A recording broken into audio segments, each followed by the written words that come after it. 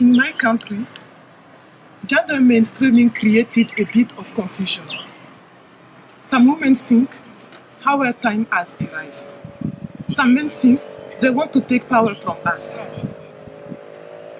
It is rather a win-win situation. And the most important is women to be included at decision-making level so that decision can reflect their needs. Can you imagine that in Burkina Faso, only 8% of women have decision-making flexibility when it comes to their health issue. Which means when sick, it is somebody else who decides if you can see the doctor or not.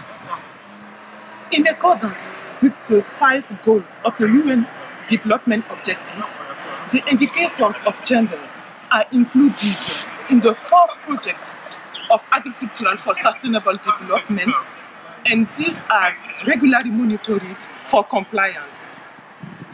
The empowerment of women strengthens the competitiveness of the African cashew value chain.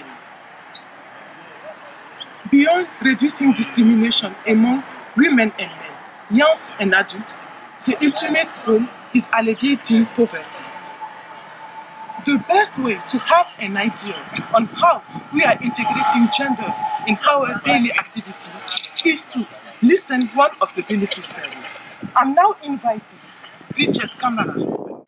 Yes, Bridget. Can you tell us how you benefit from the master training program? Thank you very much.